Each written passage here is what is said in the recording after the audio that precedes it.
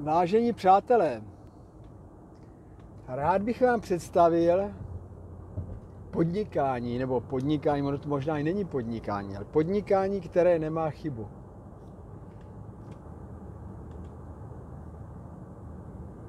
Podnikání, který má tolik výhod a já osobně neznám ani jednu nevýhodu, nebo ani jeden, nevím, ani něco, co by, co by, co by na tom podnikání mohlo vadit.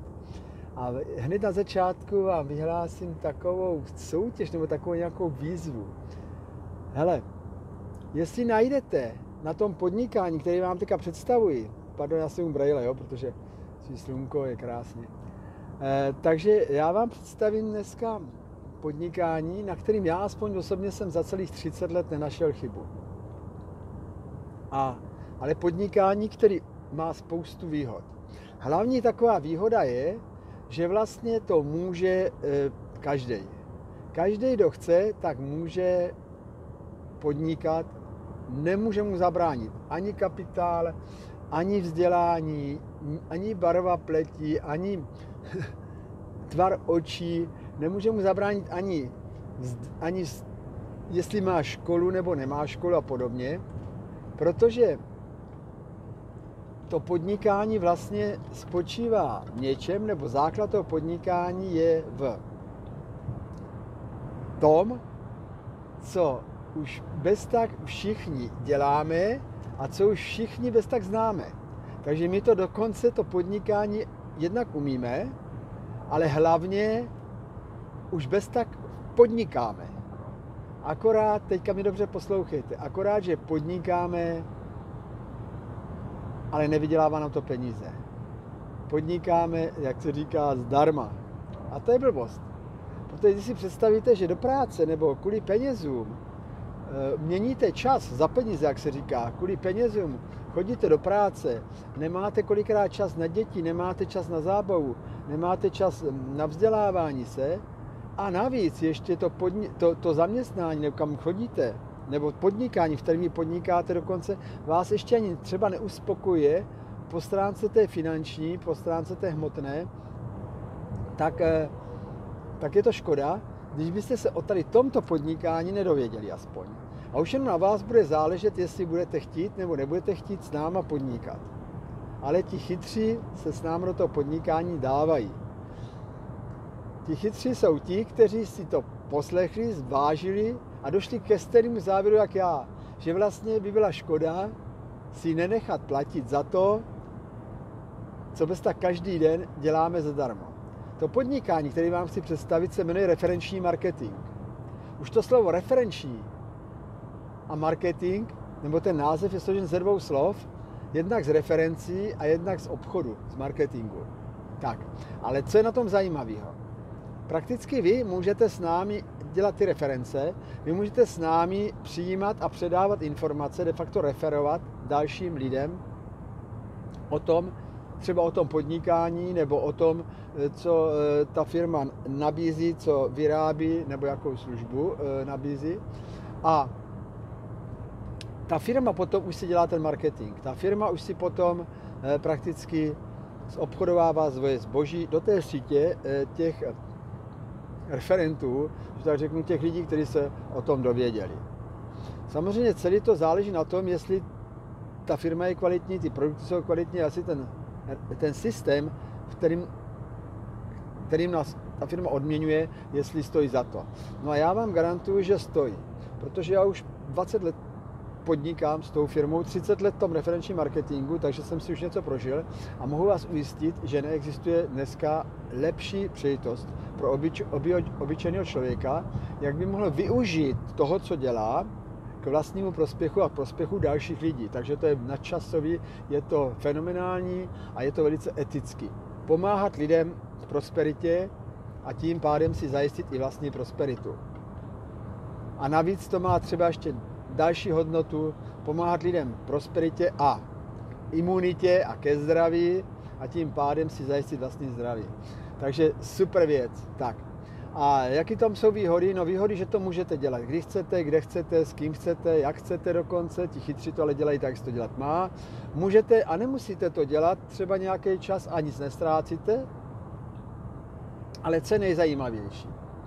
Eh, co mě vyprovokovalo k tomu, abych natočil tady toto video? Je to to, co se mě teďka přihodilo, ono se mi to přihodilo šestkrát, ale teďka už mě to vyprovokovalo k tomu, že jsem říkal, ano, něco s tím udělám. E, sdělím vám to dalším lidem. Protože spousta lidí to přehlíží, tu přejitost, a to je obrovská škoda. Co se mně stalo? Nebo co vám toto umožňuje? Představte si, že mě volala teďka jedna partnerka v uvozovkách, protože e, jsem spolumajitelem slovenské, té slovenské firmy a na Slovensku, mě volala, že by že teďka je těžká doba, že teďka lidé přicházejí o zaměstnání, že teďka e, je to těžký i se zdravím, že lidé se bojí, eh, aby nebo nemocněli, takže začínají pracovat intenzivně na své imunitě. A ona, že si vzpomněla na to, jak před 15 lety, nebo před 15 lety,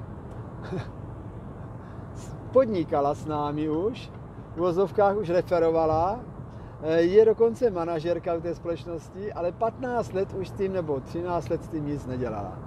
Ale ta firma ji stále fungovala a dokonce i prosperovala.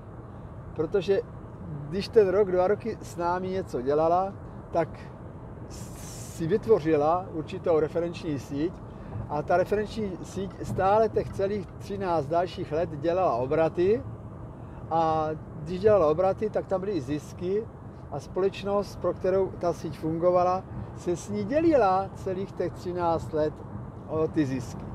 Ale co je nejhezčího, ona za 13 let prakticky nic s tím nedělala, nic tím nedělala a po 13 letech najednou teďka, když přišla krize, a ta krize ještě nezačala, ale to uvidíte, co se bude dít, kde opravdu lidé budou, já nechci to přehánět, ale budou možná na hranici hladu a bídy, protože když přijdou třeba o dva příjmy do domácnosti tak, a mají různé eh, děti a mají, mají různé závazky, tak jim kolikrát na jídlo nebezbývat. A ona si uvědomila, že právě teď je ta doba, kdy může pomoct dalším desítkám, stovkám nebo tisícům lidí právě tím, že jim o nás řekne, že i s něma se ta firma bude dělit o zisky, pokud oni budou chtít. Zkrátka dobře rozhodla se referovat o té firmě a sdělovat jim, co ta firma je zač a e, co, co, co pro ně může znamenat. No a ukažte mě jediný podnikání. Představte si, že byste e, někde podnikali, byli jste třeba kadeřníci nebo, nebo účetní nebo automechanici nebo jakoukoliv firmu, nebo jste měli obchod. Ten obchod jste měli dva roky otevřený, anebo tu, tu službu dva roky otevřenou, pak 13 let jste na to kašlali ani jste do toho obchodu nešli a ukážte mě, jestli po 13 letech byste zase jenom takhle lusknutím prstů ten obchod mohli bez starosti rozjet a dokonce využít i už těch dosažených pozic na tom trhu, který byste měli k tomu, aby se vám, aby, abyste od prvního dne, kdy jste se zase rozhodli, tak navyšovali svoje obraty, svoje zisky a podobně. Jenom tím, že byste zase začali referovat o tom, co právě jste s tou firmou zažili, anebo co právě vám ta firma přináší. Dovedete si představit, co to je za šanci pro vás a pro vaše další známí a jejich známí? Jak mohou jednoduše si zajistit další příjem do rodiny, ale ne takový, na který by museli měnit čas za peníze, že by museli přijít z práce a jít ještě zase do další okny, jak se říká. Ale zkrátka dobře, jenom by změnili dvě věci. Změnili by místo, měli by, změnili by zdroj informací, začali by se bavit s lidmi o dalších věcech, o jiných věcech, ne o počasí, ne o politice, ne o, o, o nemocích, anebo ne o chudobě, ale začali by se s nimi bavit o prosperitě, jak jednoduše oni mohou prosperovat i další lidé a začali se s nimi třeba bavit o tom, e, proč to tak je a e, prakticky díky čemu si mohou třeba posilovat imunitu a podobně. Nikdo nemusíte nic rozum, ničem rozumět, nikdo nemusíte být vystudovaný ničím, zkrátka stačí akorát referovat. Já vám to ukážu na příkladu s benzinovou pumpou. Na této zatím pochopil skoro každý. Ale i tak byli nějaký tupaní, kteří na tom to nepochopili, ale nedá se nic dělat.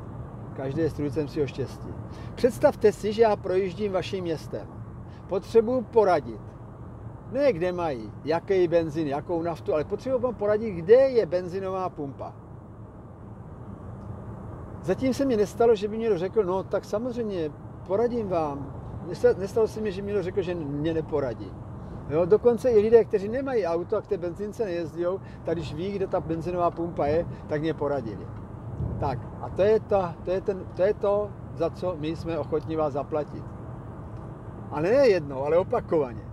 Představte si, já jsem té benzinové pumpě jel, utratil jsem tam peníze, ten do mě radil, ani neví, co jsem si tam koupil, ale benzinář vydělal. Nebudu to natahovat dlouho tím, že má marži a, z obratu a tak dále. Takže vydělal. A to možná ne jednou. Já jsem k té benzince, když jsem kdykoliv projížděl, potom jsem vždycky zastavil, takže opakovaně ten benzinář na mě vydělával. A dokonce nejenom na mě, ale jestliže mě by se někdo zeptal, kde je, kde je ta benzinová pumpa, nebo kdyby se mě zeptal, tak já bych mu taky poradil.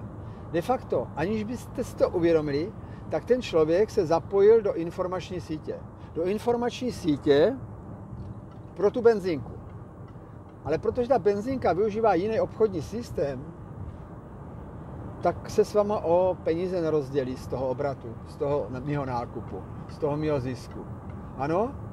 A teďka si představte, kdyby, že to může být jinak že vy můžete radit lidem, ne kde je benzínka, ale můžete jim radit, kde se dají vydělat peníze, ale kde, kde si mohou zajistit tok peněz. Opakovaně, opakovaně eh, každý měsíc pravidelný příjem. Různě vysoký. Představte si, že akorát zmíníte to místo, nebudete říkat, tam je benzínka, ale budete říkat, tam je na tom e-shopu ta příležitost. Tam je, eh, tam si můžete podívat na zajímavé produkty. Tam můžete eh, si třeba dovědět něco o tom, jak se pozná třeba dobrý produkt ještě od lepšího produktu, anebo jak vydělat peníze jednoduchým způsobem. Rozumíte mě? Vyměňte ty informace, které dneska máte za jináčí informace, přijměte informace a předávejte jináčí informace a zbohatnete. Na závěr bych vám řekl jednu důležitou věc.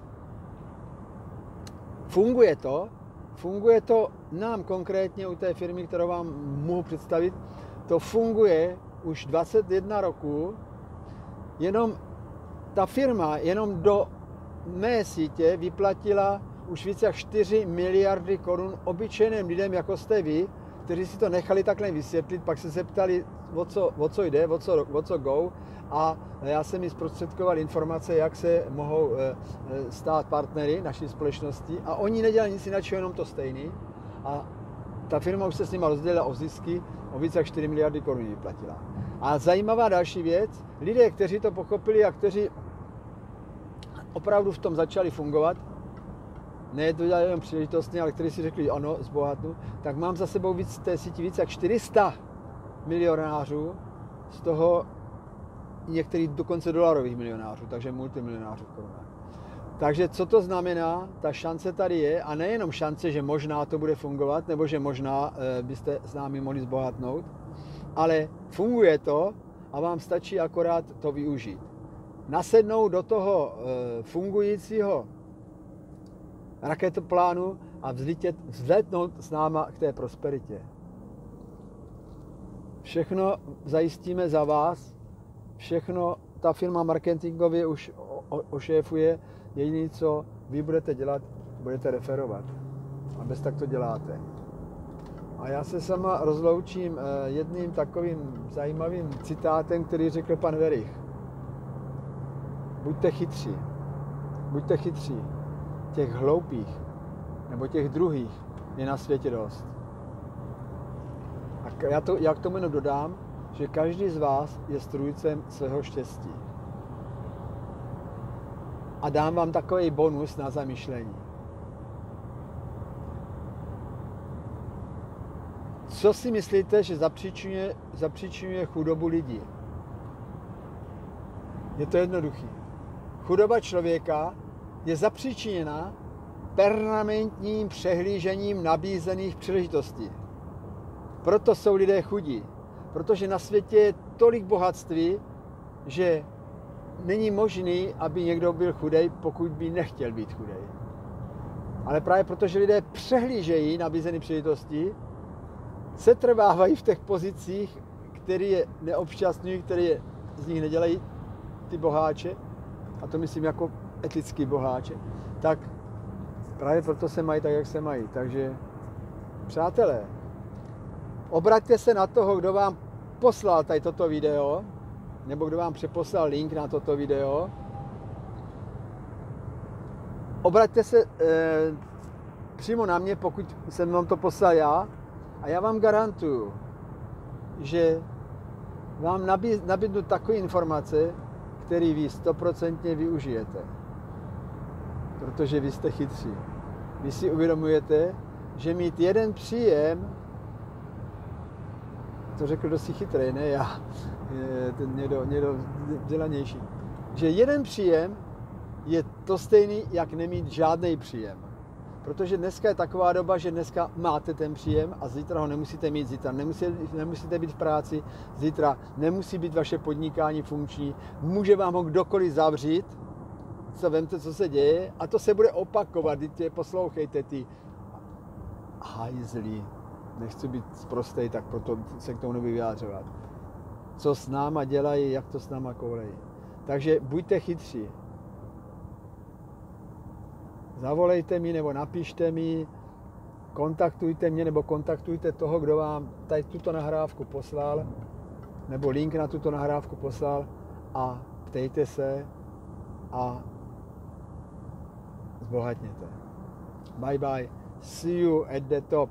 Sejdeme se na vrcholu, na vrcholu, na vrcholu toho řetězce k tomu bohatství